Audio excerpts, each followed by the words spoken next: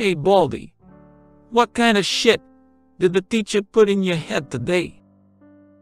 Daddy, she said that you were a freaking, flea-bitten racist, shit-eating bitch, and that you were a fat, stinky, slime ball.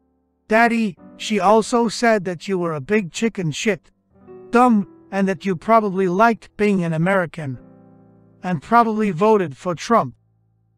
Jesus! Farouk! It's true! They're ruining the kids! Oh, I am now a good communist. Communist! Communist! That's how you say it! I'm going out there and teach that sorry, ungrateful turncoat what she's going to get. It continues to put shit in your head. Capiche? Listen, kid. Yous need to understand one thing. Yous is not a communist. And of course I am not a shithead. Or slimeball. And any of that mindless shit that idiot said I was. I stand up for the flag. And also to piss. I place my hand on my heart. And of course, kid, any place I've been shot. You're out of there. I'm going to fix this shit the old-fashioned way.